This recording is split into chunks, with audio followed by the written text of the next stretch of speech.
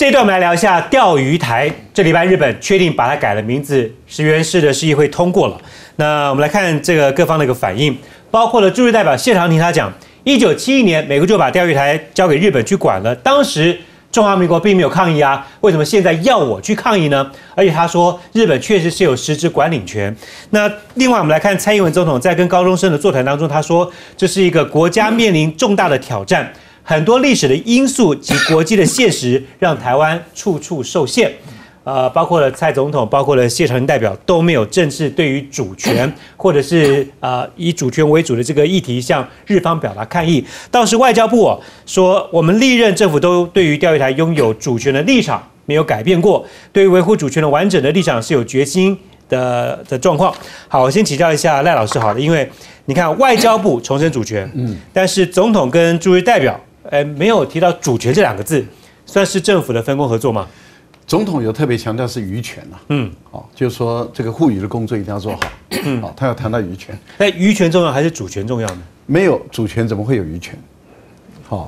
那也就是说，总统发表说对渔权啊是我们有的，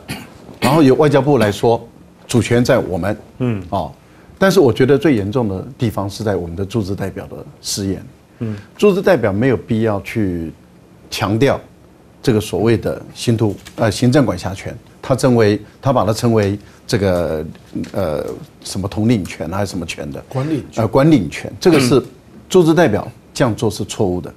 驻日代表只有一个立场，那就是严守中华民国的利益。嗯，那驻日代表在这个时候当然要强调主权在中华民国，主权在中华民国。所以渔权也在我们中华民国。嗯，那因此呢，你日本石垣岛这样的一个改名，我们拒绝。我前两天有点委屈啊，说你看一九七二年的时候的国民党的中华民国，你们也没抗议啊，那你现在要我去抗议呢？一九七二年的时代跟现在的时代差别有多大？一九七二年的时代是是动荡的一个时代，那段时间呢？就是我们准备要退出联合国，嗯，那个时候大陆要准备要进联合国，美国就是利用在那段时间两边，也就是大陆要进联合国，台湾要被退出联合国的那一段最艰难、最混乱的一个时期，把这个钓鱼岛的呃钓鱼岛的问题，嗯，就是把琉球群岛的问题，嗯，然后把它交给日本。其实美国很清楚知道，日本当时战败结束的时候，他的投降。有一个非常重要的宣告，这个宣告就是放弃所有他非法占领的岛屿。嗯，那因此呢，各岛屿有归属权的就归回各岛各个国家，所以南海的岛屿、钓鱼岛都是归回我们中国。那琉球群岛这应该已经，因为它是当初是被并吞的，嗯，所以琉球群岛应该是要回到它成为一个独立国家的时候。可是美国在当时由于考虑到大陆、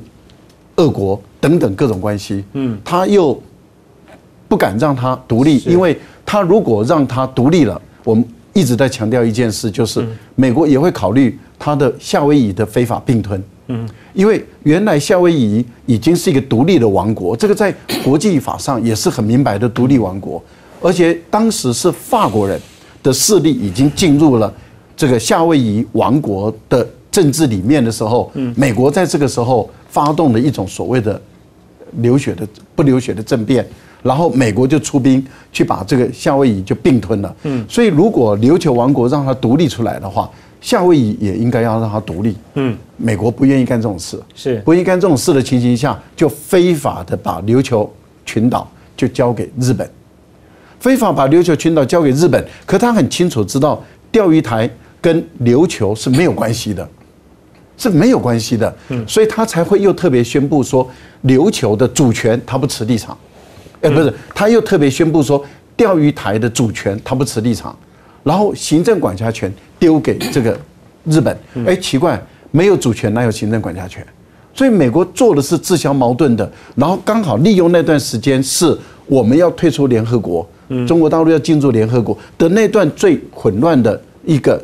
在外交上，在各个方面都在角逐最严重的情形下，谢长廷怎么可以举这个例子？而且不要忘了，我们的外交部有强烈抗议三次，哎，嗯，中华民国的外交部有强烈抗议，哎，嗯，那中华民国有强烈抗议，我们只是没有能力。那在那那个时候没有能力，应该讲说，外交部的部长应该就公务体系来讲是谢长廷的上司，对嘛？但是上司强烈抗议三次，但我们驻日代表他辈分高，在绿营的辈分里面算是高的，所以部长也的确是拿他没有什么太多的办法。但我想问一下委员，因为接下来立法院要把谢长廷请回立院去做报告，嗯，你觉得他这次回来还回得去吗？有人在问谢长廷，可能因为这个事情就就不会当代表了。我看不容易啦。不，因为坦白讲，他那个 不容易真的是因为他的辈分在贵党，不不，我跟你讲啊，他两天前脸职分太高，扯到一九七一年说中华民国政府没抗议嘛，啊。对，那后来人家去查了，有不是事实啦，对啊有抗议中华民国当时是有至少有两到三次的抗议，是的，嗯，那他昨天就改口了，嗯。因为前天外交部就表示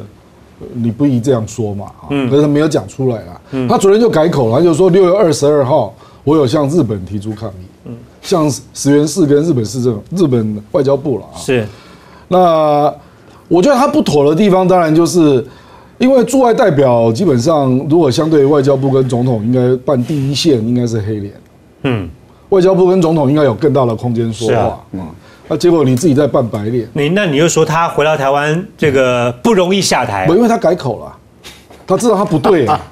然后绿绿营的委员就不追究了。不不，这个也看国民党，他当然会说我昨天修正了啦，啊，哦，他就说我二六月二十二号，我并不是没有抗议，我六月二十二号有向石原市政府跟日本外交部表达抗议啊。嗯，那当然有人可以进一步质疑了，因为日本这个动作是六月上旬就做了，嗯嗯，那你为什么拖那么久了？是啊，那他可能又，我跟你讲，他辩辩才无碍了。你要说了赢他也不容易啊。嗯，就是说，基本上他可能就会考虑说这是实力问题了。我我我们讲白一点嘛啊，比如说你如果海巡船要去护渔啊，嗯那万一渔民又被扣押怎么办？嗯，你要怎么处理啊？这个就变成现实问题，这是实力问题啊。那中国大陆当然相对，因为它有一些呃军舰改成渔政船嘛，它吨位比日本重啊。那中国大陆的船如果来了，日本就散。嗯，这个就是现实状况。嗯，而且我们那个水炮又射的没有人家远，这也是现实状况。嗯，所以我觉得他是考虑到现实状况，说万一真的有所谓的海面上的冲突啦，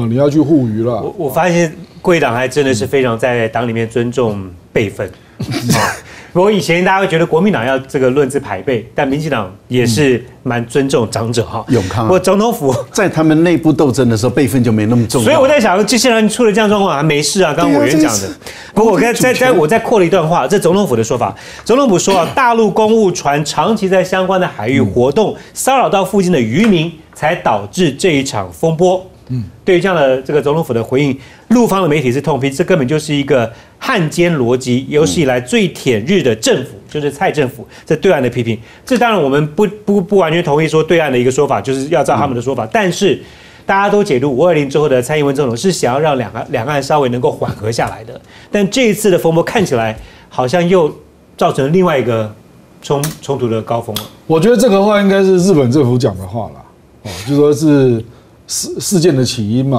啊，比如说，嗯，我昨天就看到日本政府又在讲了，说，哎，你在一个岩美大岛那个地方，好像有疑似中国潜艇出没，嗯，这个就是日本政府该讲的话，嗯，就是你挑衅，所以我那个地方政府才会这这这个动作啊，嗯，台湾立场没有理由去帮他找原因呐，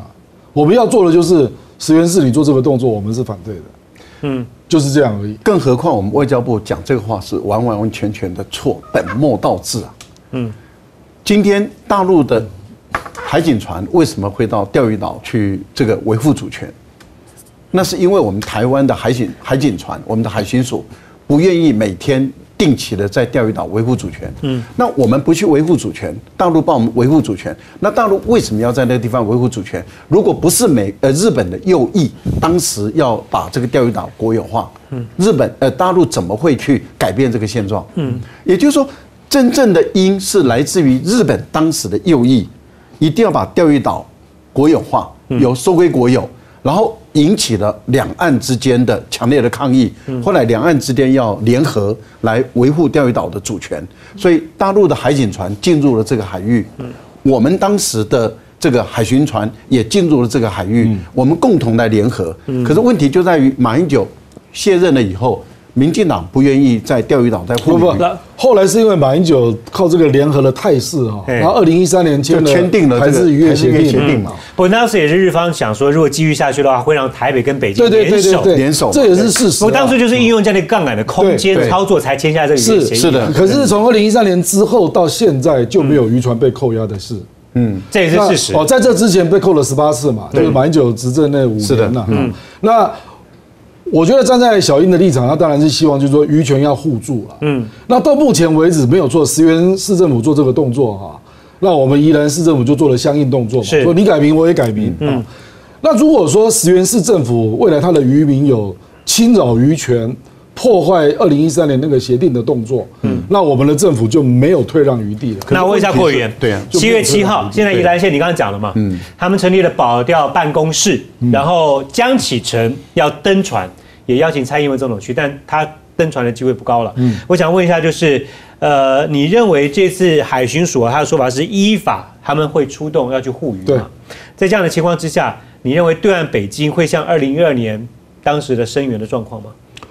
我认为要看我们跟日本僵持的状态啦，因为坦白说，日本的水炮还是比我们强嘛。那如果说万一日本又压过我们这边的声势，嗯，那不排除中国的船还是会进，会加入？还是会介入。